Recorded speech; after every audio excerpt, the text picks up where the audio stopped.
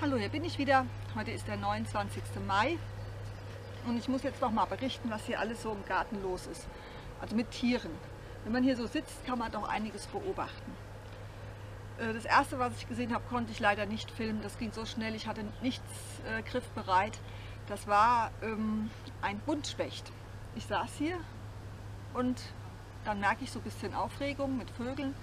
Und dann guckte ich so, weil ich immer denke, ja, die Katze ist jetzt hier wieder. Aber die hat noch keinen Jungvogel gefangen. Also davon habe ich, die hinterlässt Reste. Das sehe ich nicht.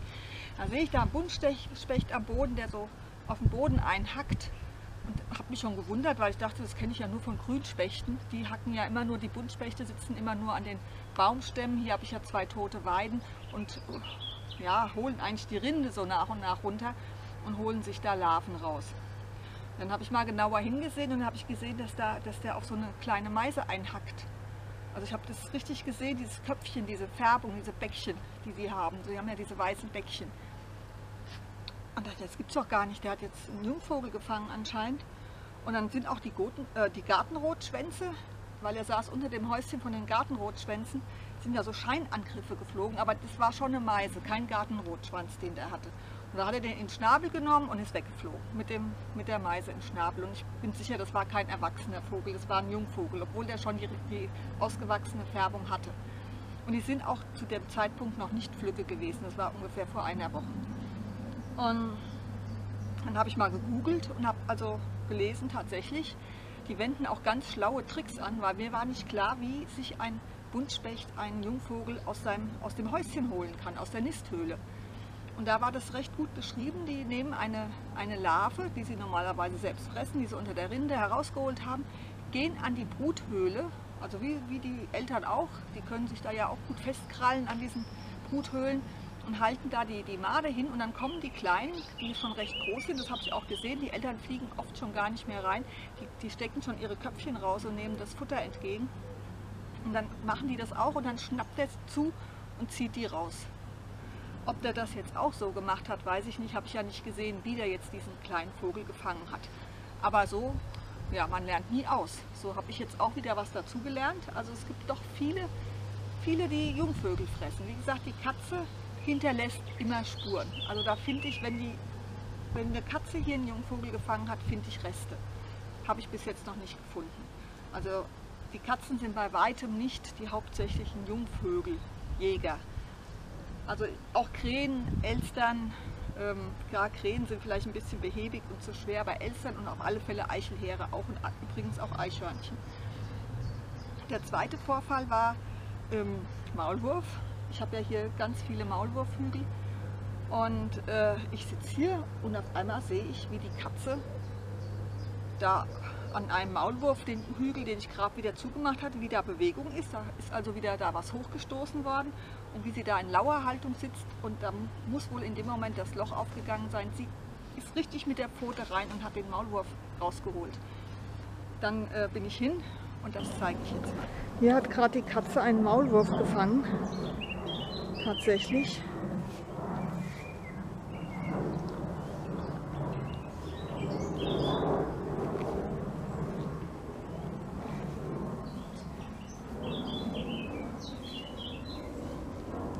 Ist doch kein Maulwurf.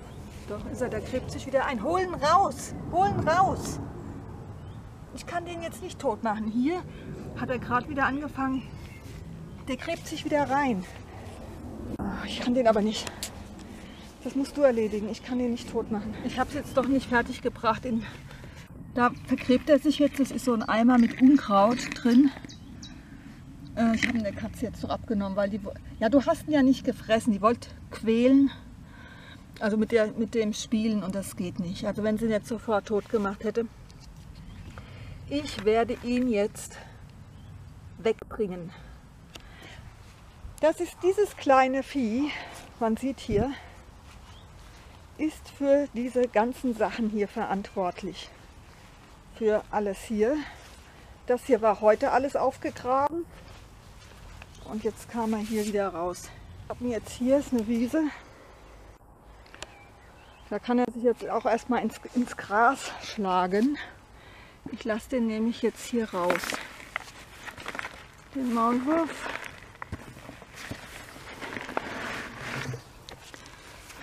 ist er jetzt. Er hat jetzt natürlich große Angst. Aber hier soweit, ich decke ihn jetzt zu. Es ist er erstmal zugedeckt. Und jetzt muss er sich hier durchs Gras schlagen und irgendwo neu eingraben, sich neue Gänge schaffen. So ist das halt. Er ist auch unverletzt. Katze hat ihn da zwar rausgeholt, aber ich habe zumindest nichts gesehen. Und jetzt muss er hier zusehen, wie er zurechtkommt. Ja, offensichtlich wollte sie den nicht fressen. Entweder kein Hunger oder vielleicht schmecken die auch nicht. Ähm, ich habe ihn ja dann, weil sie hätte jetzt mit dem noch weiter gespielt und, und dauernd noch verletzt. Ich habe mal geguckt, ich habe keine Verletzungen gesehen.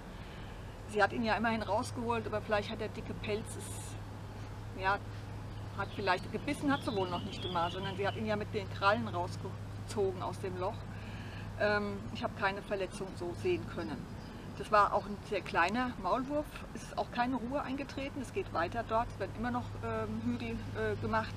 Ich nehme an, das sind Junge, weil eigentlich sind sie ja Einzelgänger, die Maulwürfe. Und wenn da jetzt Junge rauskommen, nehme ich an, die machen da jetzt weiter. Deswegen sind das auch zumindest zwei müssen es sein, denn es geht weiter, wie gesagt. Aber vermindert, also weniger. Also vielleicht ist da wenigstens eine kleine Erleichterung eingetreten. Der dritte Vorfall war wieder ein, einer der traurigen Igelvorfälle, die ich hier ja schon mal äh, beschrieben habe. Habe jetzt zwei Jahre Ruhe gehabt. Jetzt habe ich leider wieder ein sehr trauriges Erlebnis mit einem Igel gehabt.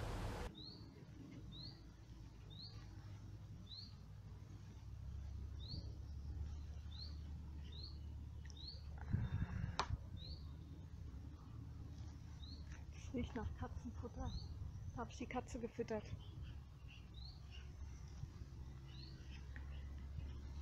Hat sie dir was übrig gelassen, die Katze?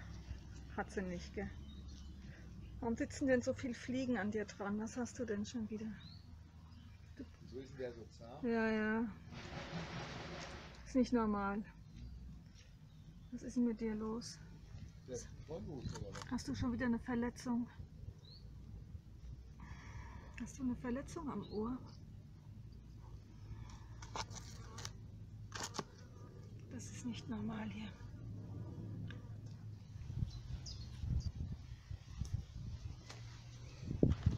Fressen kann er noch, aber wie man hier sieht, Augen und Ohren sind zu. Er hört wohl auch nicht mehr, sieht wohl auch nicht mehr. Nee, ich kann so dicht rangehen, wie ich will. Wenn ihm das noch helfen sollte, aber wahrscheinlich ist er des Todes geweiht. Aber Appetit hat er noch. Also riechen kann er noch. Und das ist nicht der Igel, den ich hier immer auf der Wildkamera habe. Ja, der Igel war offensichtlich auch schon blind und taub. Also bei dem Quoll aus den Ohren, ich konnte es nicht genau erkennen, so eine undefinierbare schwärzliches Quoll da raus aus den Ohren. Und die Augen waren auch verklebt und zu. Der, ähm, der hat mich überhaupt nicht wahrgenommen. Der hat nur noch riechen können und so hat er auch das Futter gefunden. Er war auf der Suche nach Futter, war auch sehr abgemagert, finde ich, für die Jahreszeit, für einen Igel. Ich habe ihn auch nicht wieder gesehen seitdem und ich glaube auch nicht, dass er noch lebt. Wenn ich ihm ein bisschen Erleichterung habe verschaffen können, dadurch, dass er noch mal was gefressen hat, denn das hat er ja. Vielleicht hat es noch mal eine Stärkung. Ich glaube nicht wirklich. Also ich gehe davon aus, dass er gestorben ist. Hier läuft ja immer so ein dicker Igel durch die Gegend, den ich auch auf der Wildkamera äh, mehrfach eingefangen habe. Ich hoffe nicht, dass der das ist, denn der ist so putzmunter und fit, der rennt hier rum. Ich glaube nicht, dass der so von Fliegenlarven befallen wird. Wenn das jetzt überhaupt Fliegenlarven waren, die in den Ohren und in, in den Augen waren. Also man weiß ja, dass die Fliegen immer an die Igel drangehen und sobald die schwächeln, sind sie praktisch schon verloren. Da fallen die Fliegen über sie her, legen Eier und dann werden die bei lebendigem Leib aufgefressen. Das ist ein echt ein Schicksal von, von Igeln, ganz abgesehen vom Menschen, der sie noch tot fährt und andere Verletzungen. Also das, das hat ja mit dem Menschen nichts zu tun. Ich denke mir, Igel hatten schon immer eine, hatten es schon immer schwer. Und trotzdem gibt es sie immer noch und sie vermehren sich auch sehr stark. Das ist wohl das, woran es liegt. Es sollen ja auch immer nur pro, pro Generation und pro Pärchen zwei Igel eigentlich überleben, damit die Population nicht zu sehr wächst. Außer sie werden noch totgefahren. Vielleicht sollten es mittlerweile ein paar mehr sein. Ja, so ist das.